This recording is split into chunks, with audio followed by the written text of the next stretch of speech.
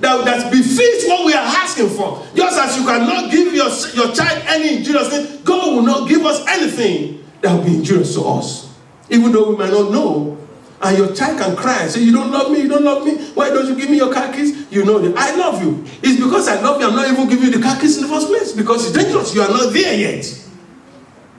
And when they're there, you buy them your car. That's fine. And if God is not answering, it could be maybe it's aligning other factors and people that will facilitate the fulfillment of your request or his plans for you. Maybe it's facilitating putting things together.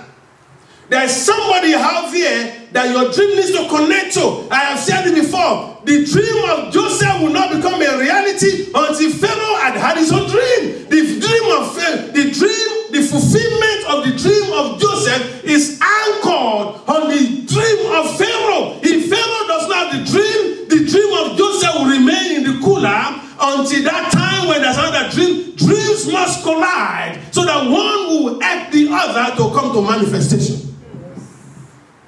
the example of Elizabeth and Mary. Why did Angel Gabriel tell, why did he tell Mary, go to Elizabeth? When Mary said, How can this be? He said, Go to Elizabeth. That was considered barren. She's already six months pregnant. So when God is delaying, He's working out certain things that will manifest that which you have. And finally, of course, it could be working out to clear out sometimes some things in the future that have the capacity to endanger what is planned to do in your life. It might be in the future, working things out. I gave us the example of uh, uh, Jesus and Herod. Are we to believe that God doesn't have the, the power to kill Herod? But they made Jesus, you know, they, they, flee, they flee from, they went to Egypt. And then when, when Herod died, he said, go, go back now. For those who seek after this child have what? Have died. So remind yourself of his thoughts. I know your thoughts, his ways, I know your ways. And, uh, and the third hour, remember. The first one said, rephrase, thank you. Remind yourself. And then the last one, the last hour is remember all his benefits from the past to the present. Many people, we know many people are grateful. It is one thing you have not done for them, they remember. They don't remember all the things you have done, the sacrifice. They don't remember. It's just one thing you have not done. Say, hey, you see now, that every time I ask they don't do And you are wondering, is this a human being or something? With all the things I've done, and you cannot remember all those things, just this one time. And many times we are like that to God. We don't remember all the things He has done, and we focus, the enemy is having us to focus, to highlight, to accentuate. Just one thing. Remember, that's why David talks in Psalm, 10, Psalm uh, 103, verse 1 5. Said, Bless the Lord, oh my soul, and all that is within me. Bless his holy name. Bless the Lord, oh my soul, and what? And forget not all his benefits. And he goes on to recount all his benefits. Who forgives all your iniquities, who heals all your diseases, who redeems your life from destruction, who grants you with loving kindness and tender your mouth with good things, so that your youth is renewed and you remember, remember, remember.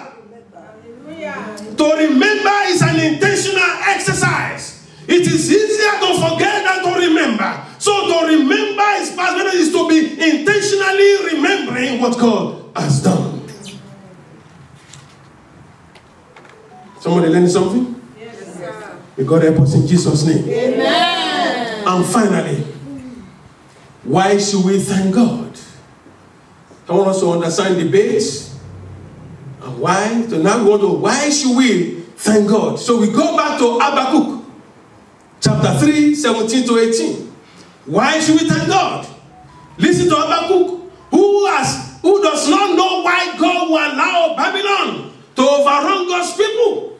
He could have taken away the sins. He could have done something else. Why would you allow your people? Habakkuk asked questions and God was not answering. And then finally, Habakkuk realized something. And that's what is recorded for us in Habakkuk 3 17 to 18. He said, Though the fig tree does not burn, and there are no grapes on the vine, though the olive crop fails, and, and, and the field produce no food, though there are no sheep in the pen and no cattle in the stall. Yet I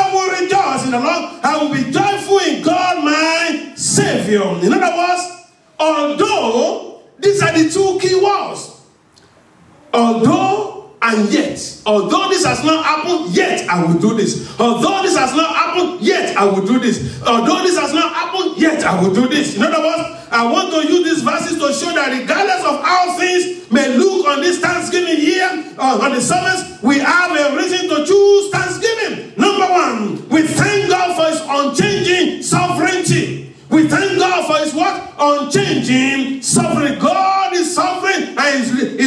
God says, I am the Lord, I change not. Malachi 3 6. Hebrews 13 8 says, um, Jesus Christ the same yesterday, today, and forever. I may not be able to rejoice in my situation, but can always rejoice in the God that is sovereign above all things, above my problem, above my situation. I can rejoice because above all things, it was not it was not taken by surprise when difficulties and issues of that God is not taking by surprises. In fact, God may be testing you. It may be a test. Sunday school this morning we're talking about no kids go to the next class without a test. You cannot have a testimony without a test. No glory without story. Miracle means testimony means something must have gone wrong and God has intervened and has become a miracle and has become a testimony. You cannot have a testimony, you cannot have a miracle if something unpleasant has not taken place first. Am I making sense to you? Yes, so we thank God for what is unchanging. And in fact, I call this the three U's, letter U. The first U is the, the unchanging sovereignty of God. Habakkuk sees a bleak future for the kingdom of Judah. Yet he chooses to thank God because of God's unchanging sovereignty. Listen to what he said. The Lord Jehovah, there is the, the Lord is translated Jehovah. It means self-existent, eternal, changeless, covenant-keeping God. We may not always perceive what he's doing. He said to Isaiah, For my ways are not your ways. So, so the first few there, thank God for his unchanging sovereignty. The God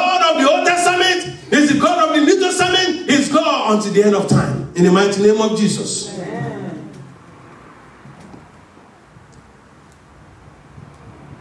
The second you. Thank God for his unceasing salvation. Thank God for his what? Unceasing salvation. Notice Habakkuk in verse 18 says, Yet I will rejoice in the Lord. I will be joyful in what? In God my Savior. No matter the circumstances, secure in Jesus Christ. And Paul said, I am going from faith unto faith. I'm an ear of God and a joint here with Christ. I can never be lost and I can never lose my salvation for God's salvation is unceasing. I was saved, but I'm being saved and I will continue to be saved. Life is uncertain. One phone call, one doctor's visit, one day or one hour can change lives instantly. The word salvation not only applies to the soul, it also applies, it also means deliverance and rescue. I have a long verse there. Write it down Romans 8 35 to 39. Romans 8 35 to 30, uh, 30, Romans 8 35 to 39. Who shall separate us from the love of Christ? Shall tribulation, distress, persecution, famine, nakedness, or peril, or so? All the four, you know, and it goes so that nothing can separate us from the love of Christ. So the second use the unceasing salvation. And finally, the last use the unlimited strength of God. Thank God for his unlimited strength. You see that the focus is not on material things, not on houses and cars. The focus is on God. That's what Habakkuk is helping us to understand, to thank God for who he is, for his unchanging sovereignty, for his unceasing salvation, and for his unlimited strength. We read in verse 19, the sovereign Lord is my strength. Habakkuk 3.19. The Lord, sovereign Lord is my strength. He makes my feet like the feet of a deer. He enables me to go on the ice. The word for strength suggests ability. It is the Lord's strength that we, that, the reason why we are alive is for, for strength in our lives. Thank God for his unchanging sovereignty Thank God for his unceasing salvation. Thank God for his unlimited strength. The Bible said that when we are weak, He is strong. And the strength of God is revealed in our weaknesses. So the focus of this Thanksgiving, God's people, even though it's, well, I, I don't know whether to say it's a wrong question to ask, but we can rephrase that question. What are you thankful for? Many will be thankful for their daddy and mommy, rightfully so. Many will be thankful for their peace of mind, rightfully so. Many will be thankful for their houses, for their everything, rightfully so. But I want, to, I want us to know from this day, what are you thankful for? I am thankful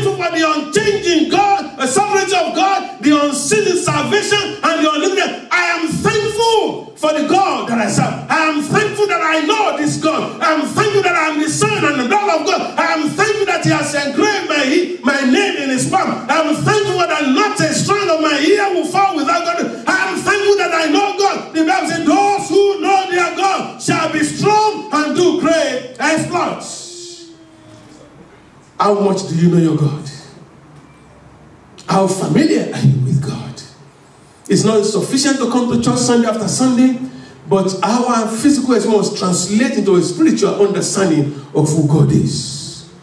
So when we sit around the table this Thursday, enjoy the meal and thank God for who He is. Thank Him for the provision. Thank Him for the gift of life. That you are not being fed intravenously. Thank you that you are doing the your G2. Thank Him that yes, your taste bud is still working. Thank Him that you can you can you can you can eat, digest, and, and release. Thank Him for everything. The focus is primarily on God. And as you thank Him for, for that which He has done, I'm telling you, you are positioning yourself for the greater revelation of the Almighty God. Shall we rise up this morning? I want us to bless Him and say, Father, I bless your name. Thank you for giving me a, a new perspective on what is this to be thankful for. Habakkuk could not understand what was happening to him. Neither does he understand what God is trying to do. And yet, although this was now this was happening that I didn't like, yet I will try, I will thank him. And we're able to discover three things to be thankful for this, this, this Thanksgiving and all the days of our life. To thank you for His uh, unchanging sovereignty. Same yesterday, same today, same forevermore. To thank you for His unceasing salvation. To thank Him for His unlimited strength. To thank Him and bless the Holy Spirit for the day He brought us to the awareness of the saving grace in Jesus Christ. That today we can be called sons and daughters of the Most High God. Father, we bless you, we give you praise.